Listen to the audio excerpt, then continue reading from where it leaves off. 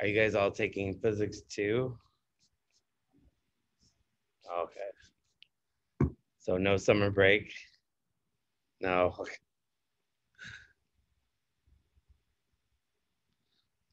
What about you guys online? Are you taking physics too, or are you going on vacation after this? Uh, yes, for me, I, I taking the physics too. Okay. What about you, Logan?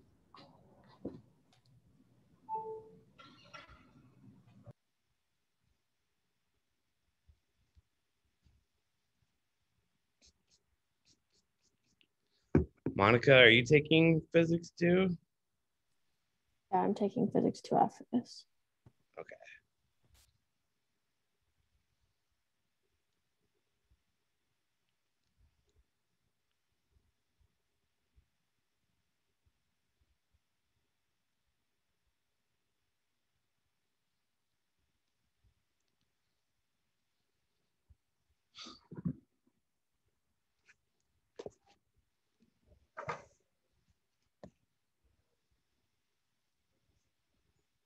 I think so, yeah.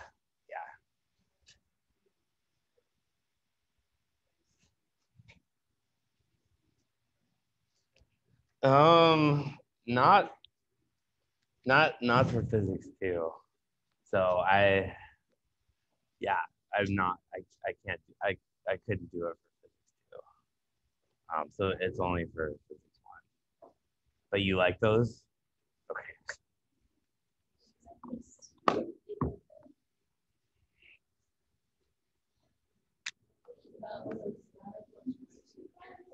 I have what? Yes, I have a Van de Graaff generator. But I um I'm not doing anything for physics two, so um maybe I could probably bring that. Um, yes, I I'm not teaching physics two or doing any labs for it, so because uh, somebody else wanted to teach physics two. So, uh, but if I'm teaching engineering physics two, that's the one with calculus next semester.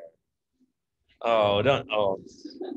Hopefully, calculus doesn't make you barf, but um, you know, I will say though that actually didn't like math until I took calculus. And when I took calculus, I was like, oh, this is amazing because then you see why you you need all this math. Because before you get into calculus, you're like, why, why am I doing this? But then when you get to calculus, it's like, oh, I get it now. Now I understand why I need the algebra. okay, well, last thing in the chapter before we move on, um, and I just wanted to go over this because um, it can be a little bit confusing um, because when you're talking about relative motion, you have to think about um, where your origin is. Where are you comparing that motion to? Okay, and I know you had a problem uh, with the relative motion of a canoe and water. Okay, and so a good way to think about it is, all right, when I find the velocity of my canoe, as it, it says it tells you what the velocity is relative to the earth of the river and also of the canoe. And then you have to find, all right, what's the relative velocity between the, the, the river and the canoe? So I always think about, all right, what if a leaf was floating on the surface of the river and there's an ant on the leaf? Okay, so the leaf would be moving with the velocity of the river. And then if you were the ant, what would it look like the canoe? How would the canoe be moving with respect to you. So even though you're both flowing in the same direction down the river, uh, from the um, ant's perspective, it would look like the canoe is moving away from you. So the canoe would be moving in a negative direction relative to you on uh, on the leaf. But let's look at an example here. All right, so we've got uh, Bill, a runner, Amy, and Carlos. I don't know why the runner doesn't have a name. Let's call him Steve. So, So what's the relative velocity between um, Carlos and Amy? Right. Well, looks like Amy's standing still, and so um, that one's not too bad. So that'd be 15 meters per second. Uh, between um, Amy and the runner, it's also five meters per second because she's standing still. But what's the relative velocity between the runner and between Steve and Bill? What's what's the difference? What's their relative velocity?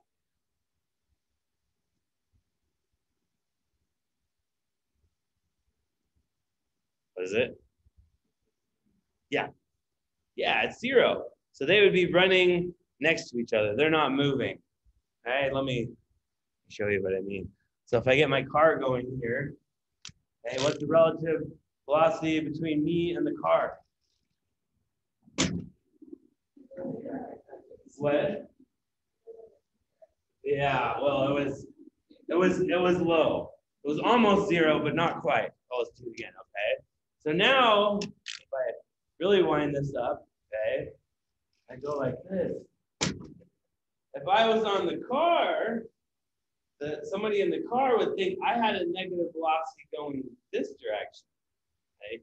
Even though relative to the earth, we're moving this way, but me relative to the car, um, I would have a negative velocity in that direction. Okay? And we can calculate it. Um, go to the next slide. All right, so um, the one here, it's between the, uh, the first two are, are not, those are pretty obvious, okay? But the one here, the velocity of the runner relative to Carlos, okay? So we say, um, we want to find the difference between those two. And so we say, all right, um, VAC, so that's, uh, what is VAC? That's, oh, the velocity between um, Amy and Carlos is 15 meters per second, and the velocity between um, the runner and Amy is five. So we find the difference between those two. Okay, so the velocity of Amy relative to Carlos. Okay, so that's another thing. Carlos is in the car. He is, if he's driving away from Amy, to him, it looks like she's moving away at 15 meters per second. Right? So if you're in your car, uh, because everything in your car is uh, is relative to you, it's stationary. So even though your car and you are going at 15 meters per second, um, if I look back over there, then that stuff is moving away from me at 15 meters right? So I would take that uh, since uh, that velocity is um, minus 15, then, uh, and we say everything is relative to um, Amy, or the velocity of the runner with respect to Amy is five meters per second. So we find the difference between those, and that gives us minus 10. So that minus 10 tells us that um, um, the relative velocity between the runner and the car is going to be minus 10 moving to the left. Okay, so let's see. So my relative velocity will be over here between uh, the runner. Nope.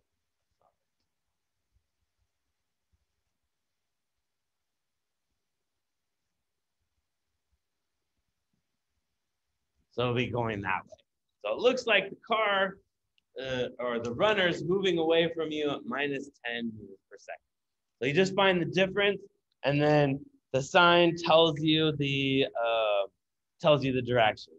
So the main thing is though you you should you should think about it because sometimes the algebra can be confusing.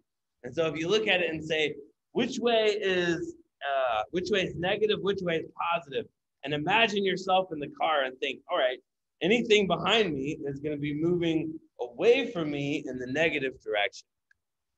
So let's look at another example.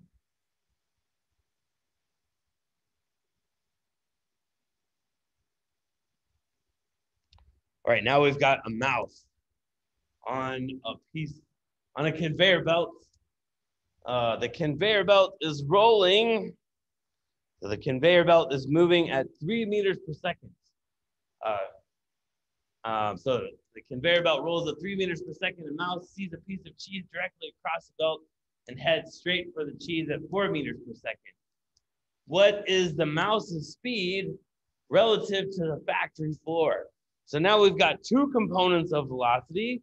Um, he's still going to be moving at four meters per second straight ahead towards the cheese, but we've also got this uh, velocity going down at three meters per second. So now we have two components of velocity.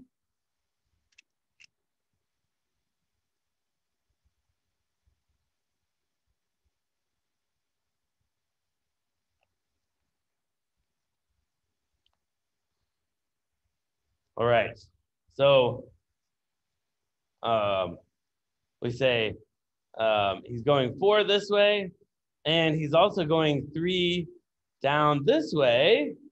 Right, so we want to find what is the magnitude of our uh, velocity, of our new velocity relative to the factory floor. So let's let's work it out on a piece of paper.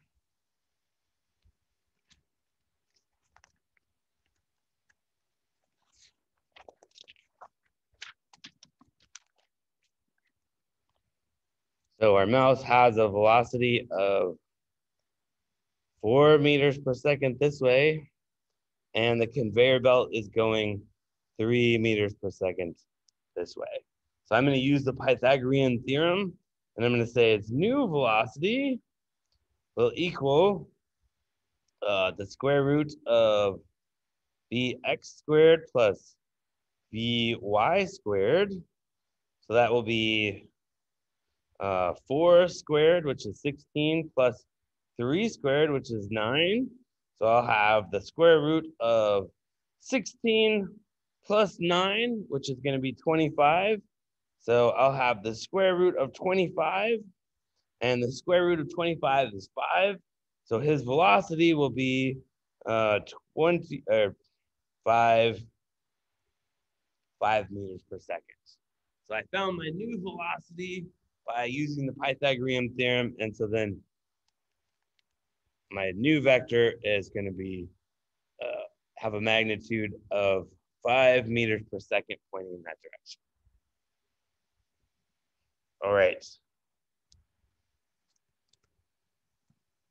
So that's gonna that's gonna do it for chapter three. Now we're gonna move on to chapter four.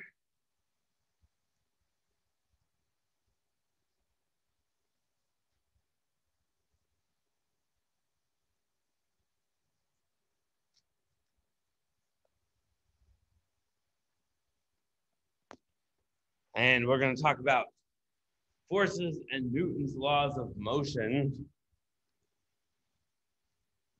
All right. But for any kind of motion, we need to have a, a force acting on an object. So an object won't start moving unless a force acts on it. Um, and we also can't get a, an object to change its motion unless a force is acting on it. So um, if I wind up my car here and I let it go, it will continue on forever like that unless a, a force is acting on it. In the case of my car, there's friction between the, the wheels. And so friction will slow it down. Um, if I throw an object, so if I were to let it go, it would continue going on unless gravity acts on it. Gravity pulls it back to Earth, but um, Newton's law says an object in motion will continue in motion uh, forever unless an outside force acts on it. And if an object is at rest, it will continue to stay at rest unless it's acted on by a force.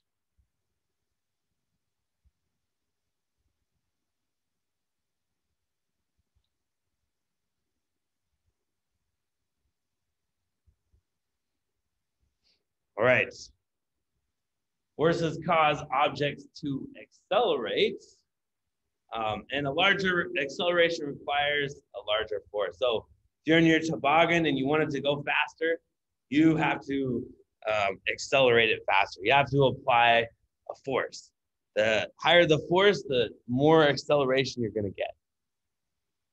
Um, a hammer exerts a downward force on a nail, and the nail also uh, exerts a force backwards on the hammer. So uh, if I push on things, if I push on this desk, then the desk also pushes back on my hand. I I feel a force on my hands and it pushes back on me. Um, and uh, if you've ever been hammering and you miss, then um, you'll and you hit your finger, your your hand will exert a force back on the hammer, um, and you will definitely feel that. All right. So in chapter two uh, and three, acceleration is a vector. So if we have a change in our velocity, then we're going to uh, experience an acceleration. So um, it could be if there's a change in the magnitude or a change in the direction. Either way, we're going to get an acceleration. So if the velocity changes for any reason, um, then that means there's a force acting. So are you guys at rest right now? Are there any forces acting on you? Which which force is acting on you? There's gravity. The normal force. Yeah, the normal force is pushing back up you uh, against you so you don't fall into the center of the earth. What other forces are acting on you?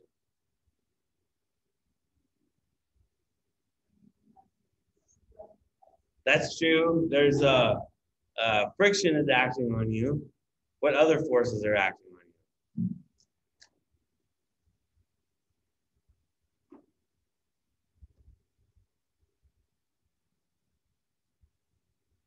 there a centripetal force? Yes, the earth is spinning. We all are spinning right now on the earth, so there's a centripetal force. Are there any other forces acting on you besides the earth spinning?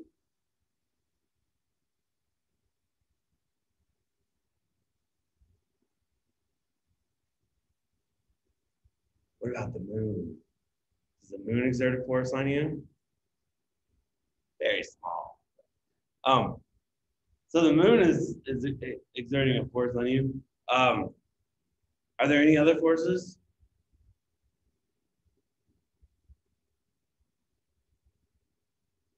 There's another centripetal force because we're going around the sun, right? So there's a centripetal force from us going around the sun. Are there any other forces? You think? that is a lot of forces. Um, our galaxy's rotating. So the galaxy is also rotating, so there's a centripetal force from that too. Um, are there any other forces?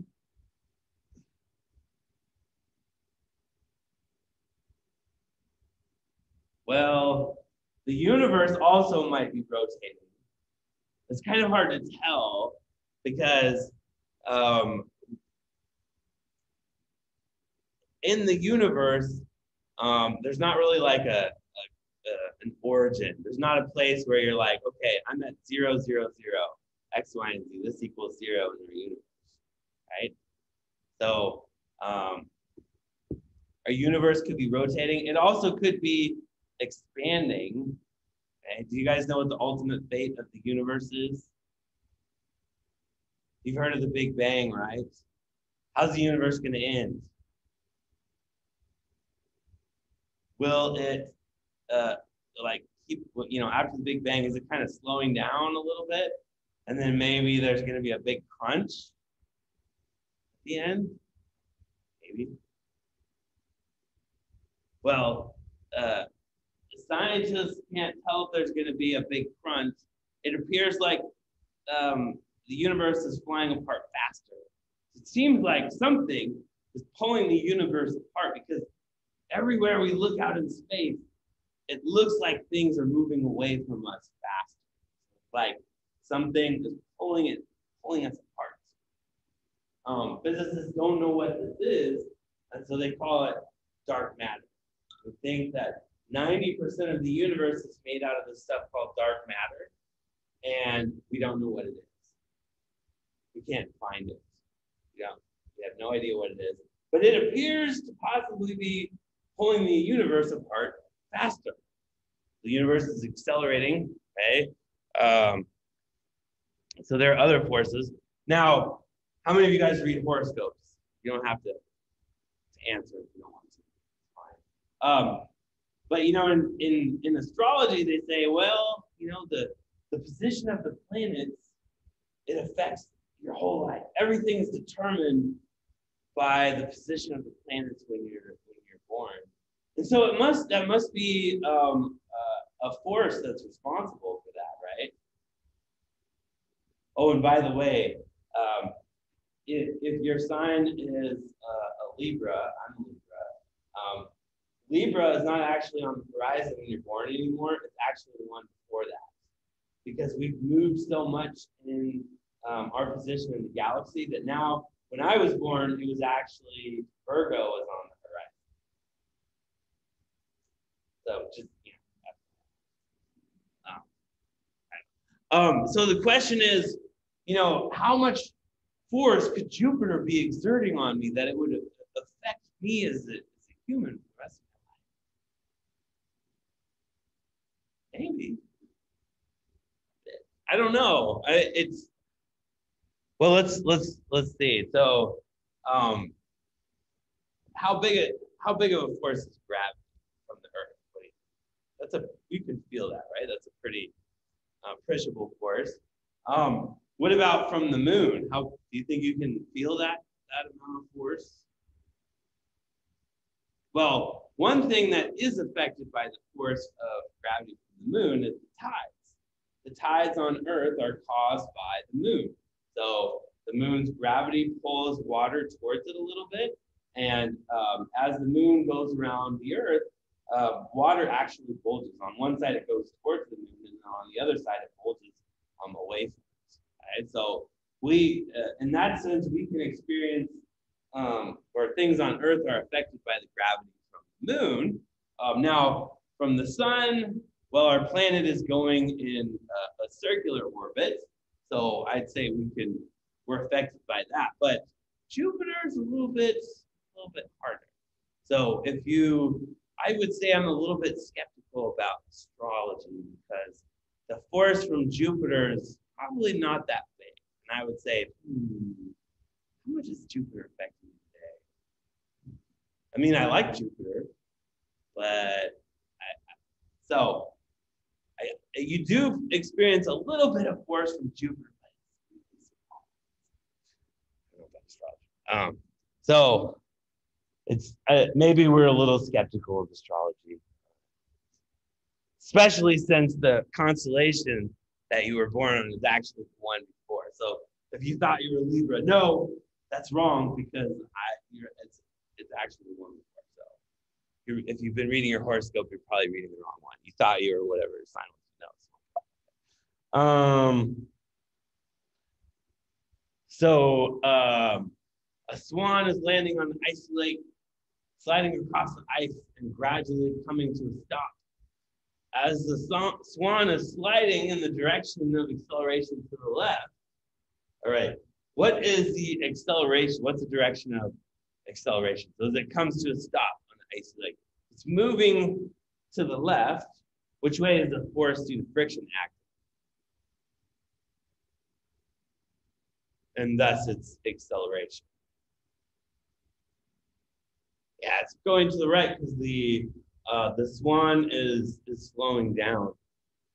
Um, my physics professor in college used to tell me this joke. He said, you know, I, I know that college students are attracted to each other Because if I put them on a lake and it was totally icy and there was no friction, the force of gravity between those two students would eventually pull them together, right? Because force of gravity is real. So um, really you can actually calculate a force of attraction between two people. Now, how long would that take? Eh, might be a few thousand years, but it's still real. Okay, it's, it's not zero. Maybe not very big. But, so maybe there's something else going on between college students. I don't know. It's hard to quantify that, so we don't like to talk about that. There's no equation for. All right. So if you're not wearing a seatbelt and the car you're driving hits a fixed barrier, you will hit the steering wheel with some force. So hopefully you're not texting while you drive, or Snapchatting, or TikToking, or Facebooking, or tweet tweeting. Okay, but uh, if you did, uh, you weren't wearing your seatbelt, um, you'll hit the steering wheel with some force. Why is that?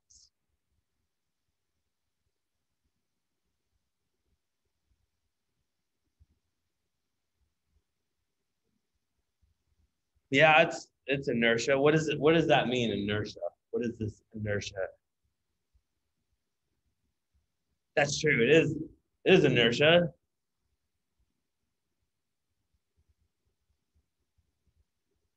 What is it? Yes. That's right. You are in motion inside of the car. You're you're moving with the car, right? And if the car stops, you, the passenger, will continue moving inside of the car. So even though the car has come to a stop, you'll keep going. Um, now, if um, if you're not wearing your seatbelt, um, something has to stop you, and in that case, it'll be the steering wheel uh, or maybe your front windshield. One of those things is going to stop because once the car stops, you keep going, um, and that's why everything in your car is your is it is it kind of squishy or is it a little is it is it really hard? Is it like metal? Kind of squishy. What does the squishiness do?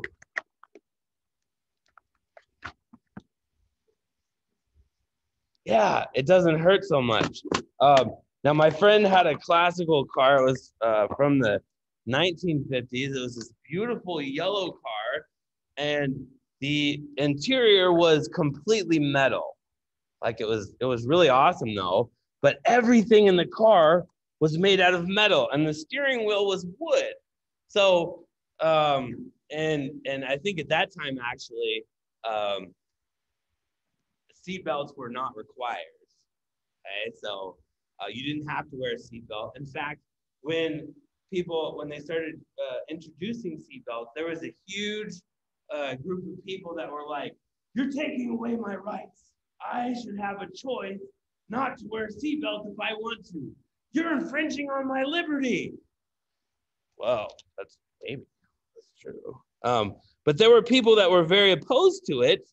Um, they didn't want to wear seatbelts. But let's look at what happens um, okay, yes. So I've got my my IO sensor here. I'm going to turn it on. Okay, and we'll we'll do uh, the accelerometer here. Okay, and we'll do two collisions.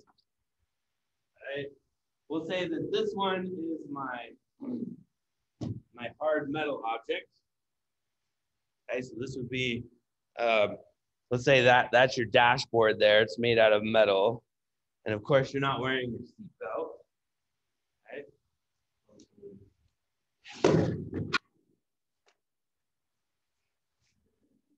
Wait, is that the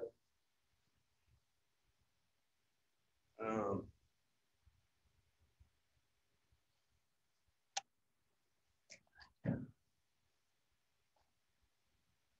Hmm, is that maybe we wanted the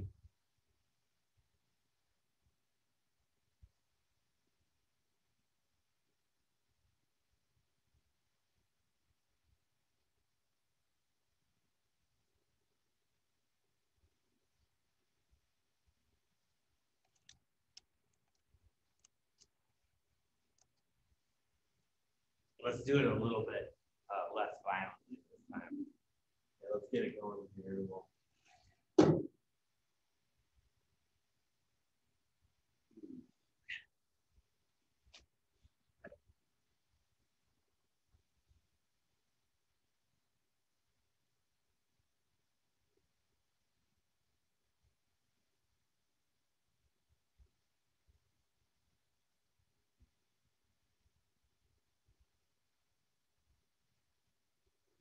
Oh, I know. Let's put it on on some paper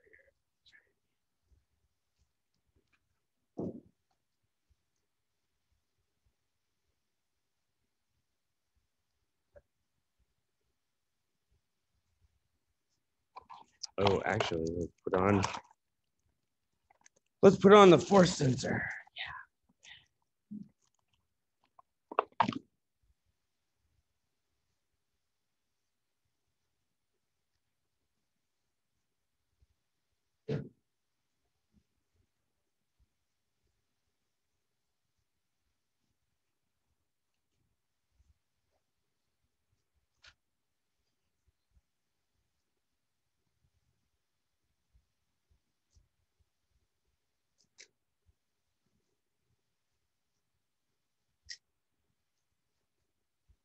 All right, so I've got force down below and uh, my accelerometer. So I'm gonna start this. Let's look at-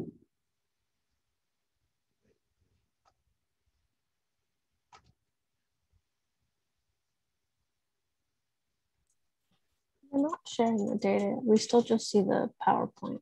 Oh, okay. Well, it didn't work yet, so let me. Uh, all right, so here's my my force sensor.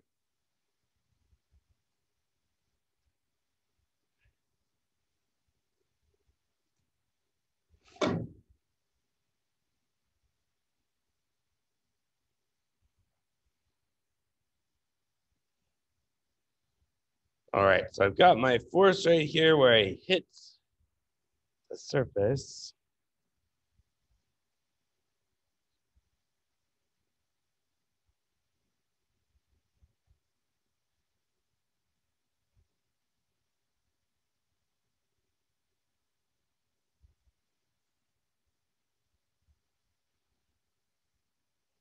All right. So it looks like I got down here to about uh, six newtons. Right. And let's take another. let's put something squishy in the way. We'll put my,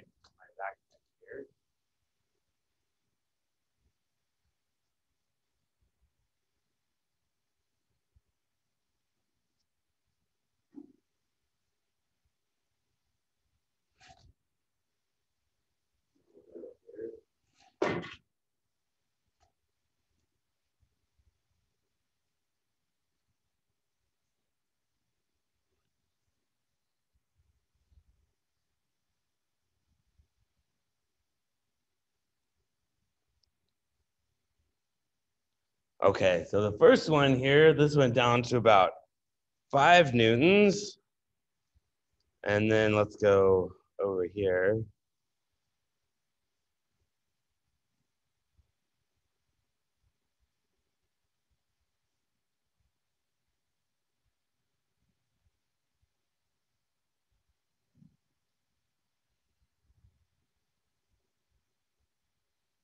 Oh, okay.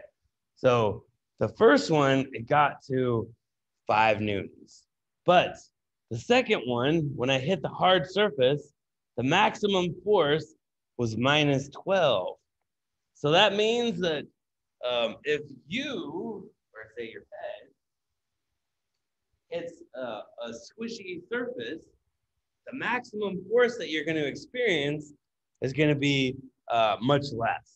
Whereas if you hit something hard, um, that's going to be much higher. So here you'll get up to 12 newtons. Um, and the other one here, this is, this only gets to about five newtons. Okay, so when you hit something squishy, um, and let's look at, it also looks like um, the time of collision with the soft one, it takes longer than, say, right there. Okay, so, um,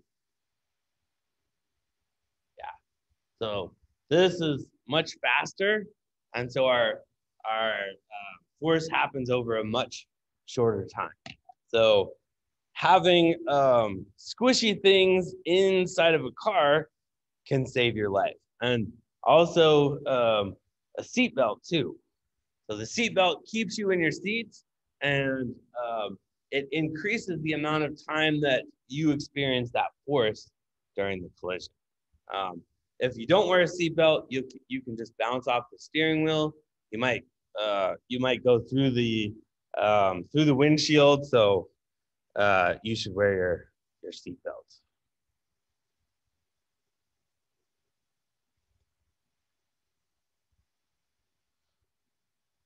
All right.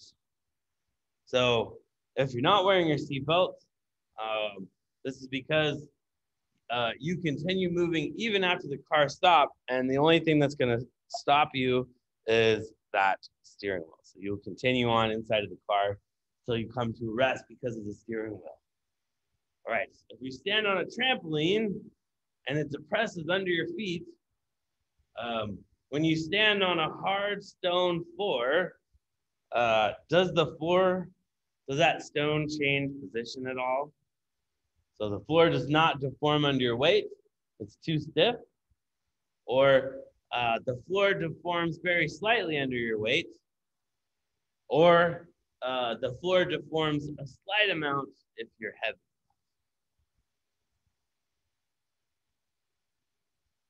So does the stone change shape at all?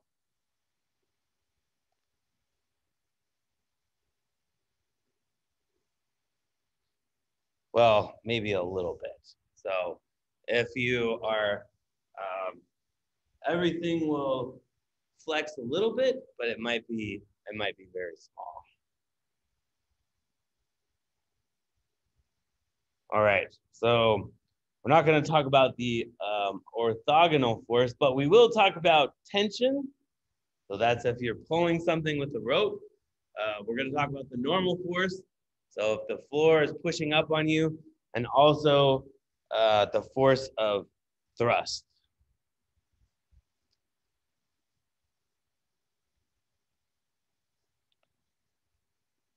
All right, let's talk about outer space. So if I were in outer space and I have my rockets on, so let's say I'm I'm headed to Mars. Um,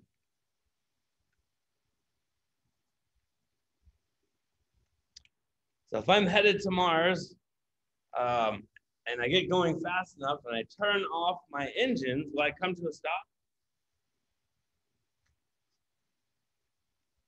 No, I'm just gonna keep going forever. So in the in a science fiction movie, if they're in outer space and they turn off the rockets and the ship stops, that's completely wrong.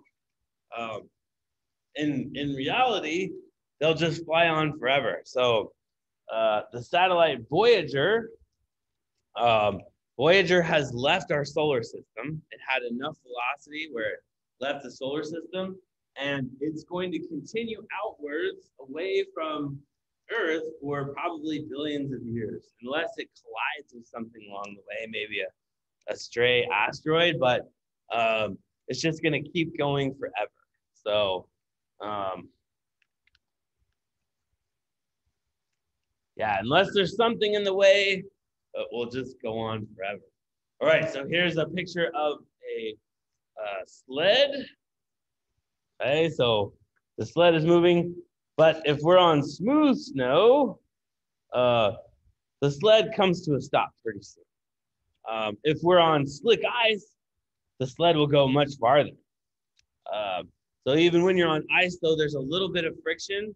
It's not zero. Uh, so eventually you're stop. You will stop.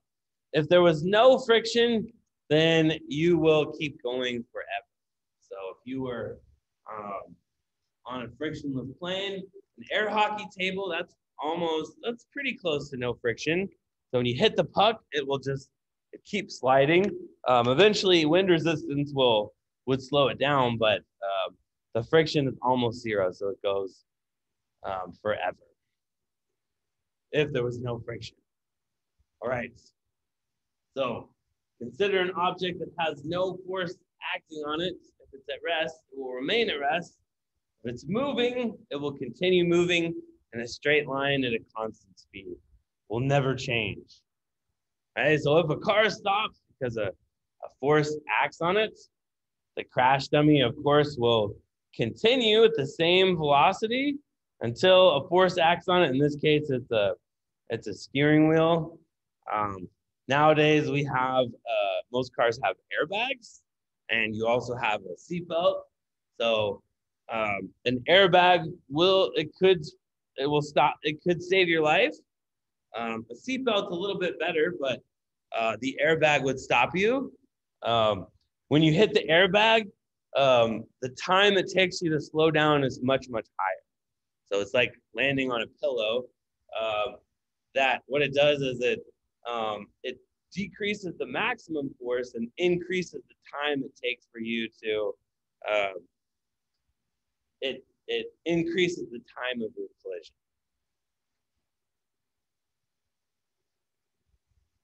All right, so uh, when a force acts on an object, you can either push it or pull it. Uh, so if I had my uh, if I have my car here, I could push it like this, that's a force, or I could pull it with the rope.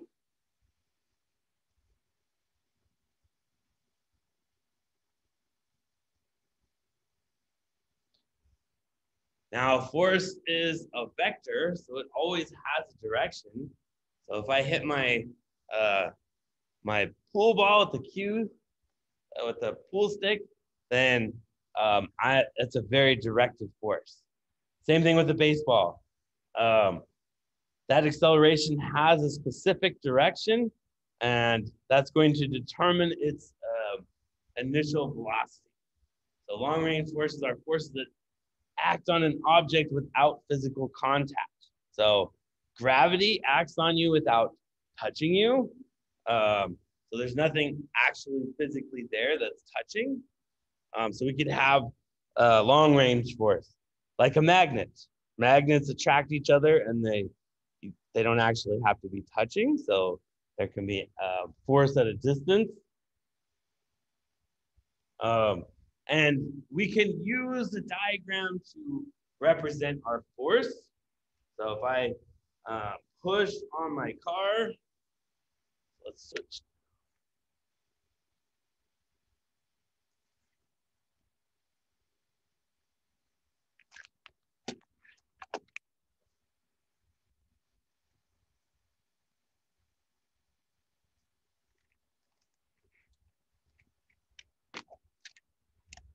All right, so here's my little cart. And if I push on it this way, then there's going to be a force directed in that direction. So if I, here's my car, if I push on it this way, then I can say, I'm going to represent my car by an arrow. So if I push on it like this, then I'm going to say my force is directed this way you can have different forces acting in different directions. So I could use two fingers and push inwards. Okay, those forces will add together. So if I push like this, I could have two forces pushing, one this way and one this way. That's going to give me a combined force in this direction. Okay, so I, if I had force one here and force two here, the y components of those forces will cancel and I'll only be left with the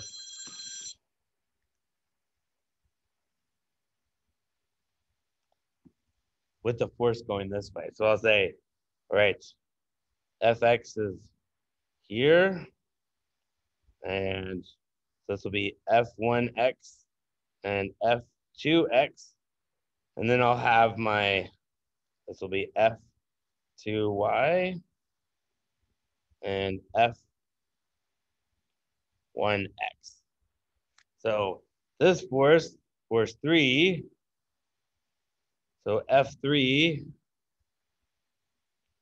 would equal F1x plus F2x. And no, wait, that's, is that right? Those forces should cancel. So this should equal zero. I want the y forces. So F3 will equal F1y plus F2y. So these forces are opposite. They cancel with each other. And now I only have my y forces, which would combine together.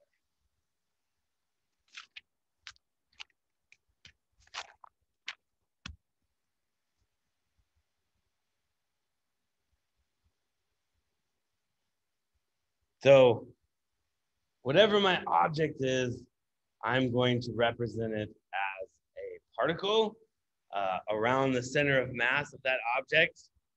So I'd say, all right, my force is acting on my car, then I'll balance it on my finger and I'll find the center of mass of my car. And then I'll draw my car as a dot and I'll, I'll say, all right, how many forces are acting on my car? So um, there's acceleration due to the wheels. Uh, there's the normal force acting on it.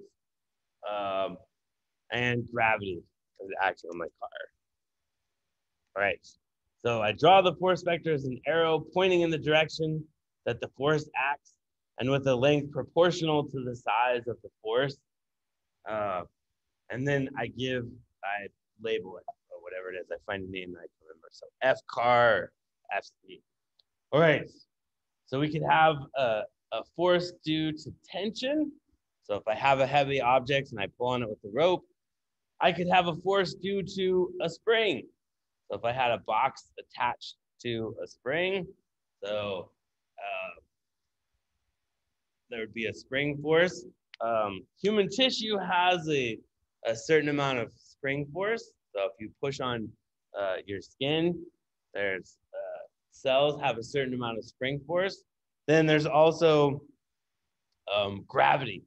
So gravity pulls your box down and keeps it attached to the earth.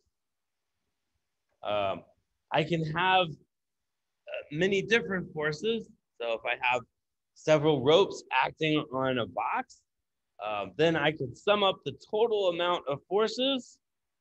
So I would I would take all my forces and I would add their x and y components together, and then I would get a new total force. So because you can always add your forces together. So here I put F1 and I add F1 and F2. That gives me a combined force, which is called my net force. All right, let's look at a problem. The net force on the object points to the left. Two of the three forces are shown which is the missing third force. Right, so my object points to the left. Which force should I pick to make this object move to the left? I've already got F1 and F2.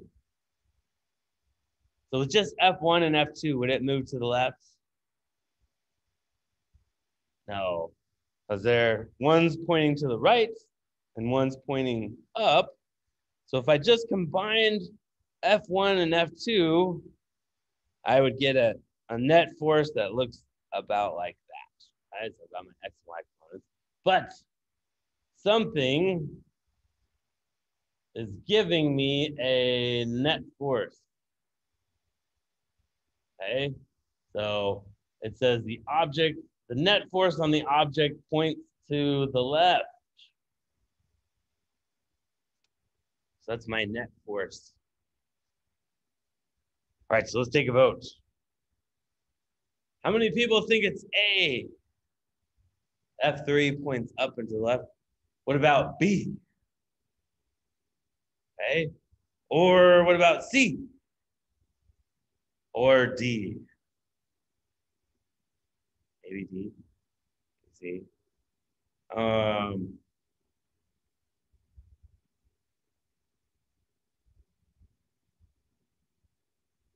somebody tell me why they think it's C.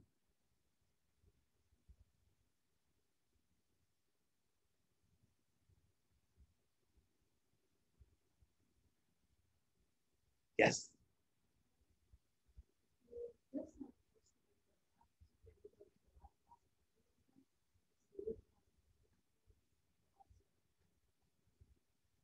Yeah, that's right. So we need to have a force going to the left to cancel out F2.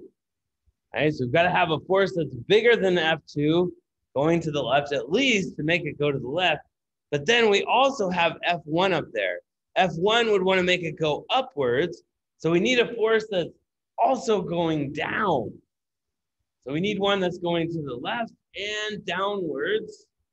So the only one it can be is, is F3 because that has a that has a component that's downward and to the left that is bigger or uh, does it have to be equal to F1 or bigger than F1? It has to be equal. So if it's just moving to the left, we need a component of this force that equal and opposite to F1. And it has to be greater than F2 if it's accelerating to the left. All right, so when I push on this table, I'm gonna push really hard. Which is the table exerting a force on me that's bigger, or am I exerting a force on it that's bigger? I'm gonna push really hard. Who's exerting the bigger force, the table or me? Yes. Because the table is not moving. So was a trick question. If the table was moving, then uh, then it would it would not be equal. What if I push on the chair? Who's exerting the greater force? Yeah, I'm I'm exerting the bigger force. Uh, yes. What if the chair is uh, what's the net force on the chair if it's moving at a constant velocity?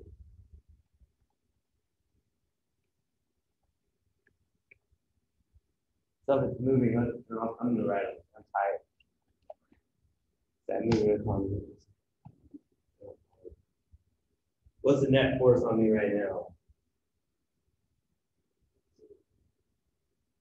Why is it zero?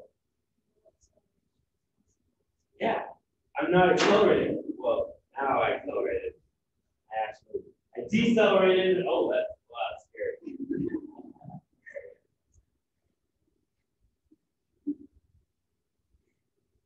Was a little scary. All right. Well, that's all for today. Fortunately, that ladder didn't kill me. So, all right. Thanks for coming today, guys continue start if you haven't started reading chapter four start reading chapter four um, the reading assignments are really helpful i think you should do them uh, but you don't have to uh, and we'll continue on with chapter four tomorrow then on monday we're going to have another test over chapter three and four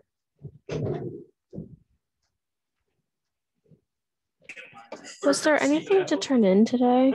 no there wasn't today Okay, thank you. Okay, thank you, Professor.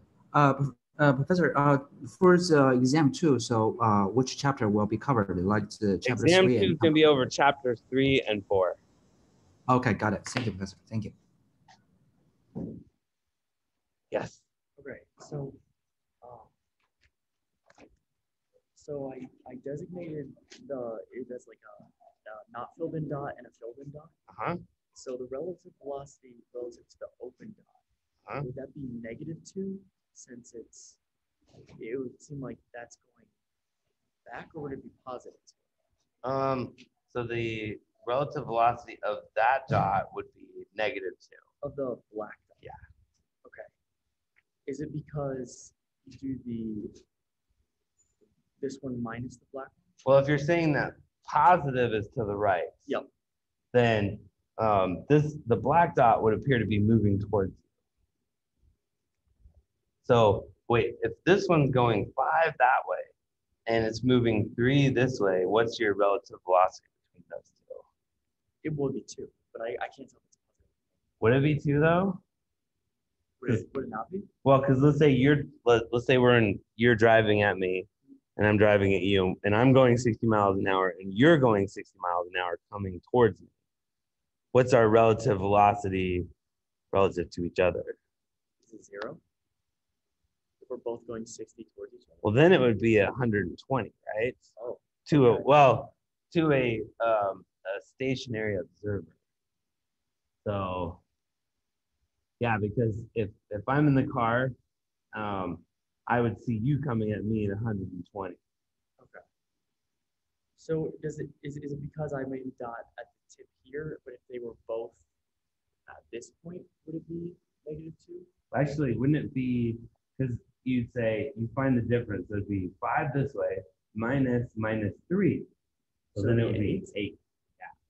Because if they're moving, So um, is it to a stationary observer, it'd be eight? let's see. Um,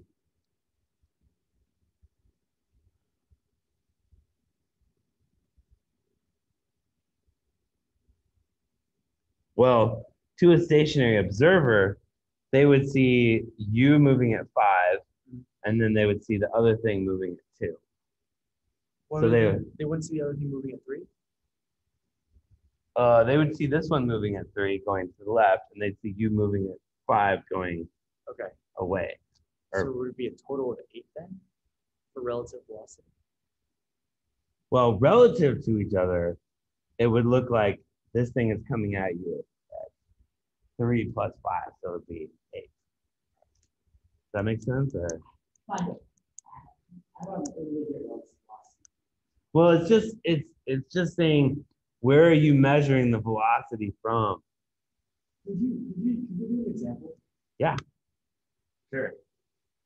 So let's say, uh, got card is here.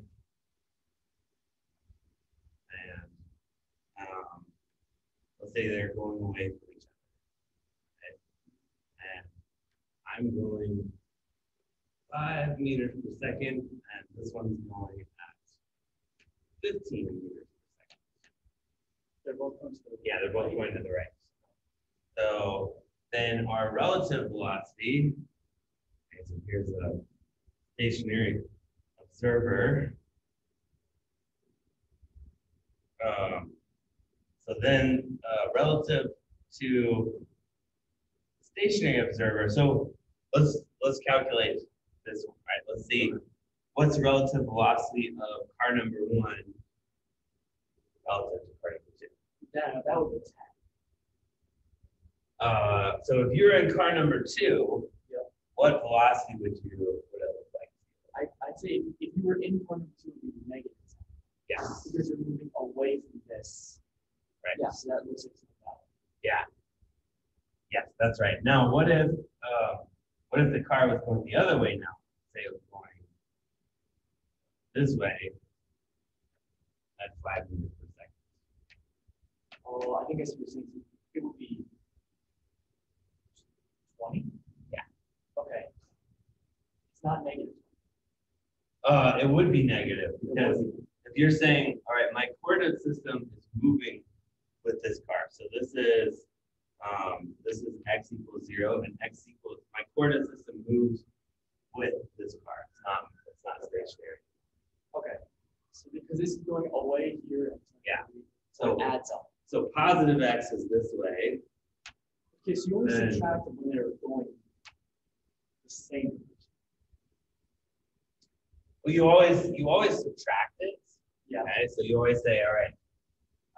Um, so I'd say, all right, my velocity relative to the ground, you know, relative to the earth, or a stationary observer, this one I'd say is. Um, this velocity would be, so of one, right, that's car two, relative to the earth is, uh, and then I would subtract it from this velocity, so V one relative to the earth. Okay, but in this case, you'd add them because it's, it's a negative velocity. Yes. so it's left. Okay, Right, so this one would be uh, fifteen meters per second, it's going that way. And this one would be minus a minus five meters per second, is going that way. okay. So now, when we were talking, you said it would be relative to part two, it's negative twenty, right? Yes, so this So, is, so would you switch these two terms? Or how, like, how do you know which one to put first? Uh, well, the way I do it is I just say, all right, this direction is negative, so then this is gonna be uh, minus twenty. Okay, so you're just saying like, you think you have, okay, so relative to part two would be minus. Yes. But if it was relative to part one, it's plus. That makes I- I- sense? I actually, yeah, I I understand. This, this, this helps. So, yeah. Um, I always have to think about like what's happening, Yeah. um, because, you know, you could do it with just the algebra, but you might get confused. So you still need to be aware of like what's actually happening. No, I, I think I was, I think I was trying to do it just well, that's what was. Okay. Because it, it, it makes sense now that if they're moving in opposite directions, they, it seemed like they're going faster. Yeah. Okay, cool, well, thank you. Okay. Um, do we have the online lab again tomorrow? Yeah, Okay, cool. yeah, I'm gonna, we're, I'm gonna do it every time now on, so if you still do that. Yeah, am I allowed to be in it for like the rest of the semester? I think so, yeah. I'll be ready for tomorrow. All right, Have a nice day. you too.